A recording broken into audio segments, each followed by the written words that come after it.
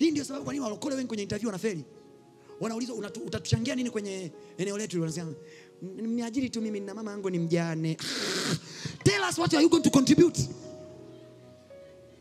Hatuna contribution. We are looking for pity. Yes. tunategemea kwa hiyo walokole wakiingiza kwenye interview wanakunja shingo kwanza hivi.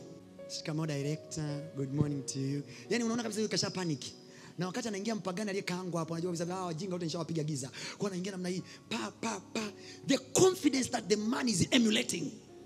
You can tell this guy can run this company. Cheki sasa mlokole ameenda kufanya interview. Yeah. I have two two young sisters. They all depend on me. So, when you give me this job, I'm going to to help them with uh, with uh, with uh, with with the food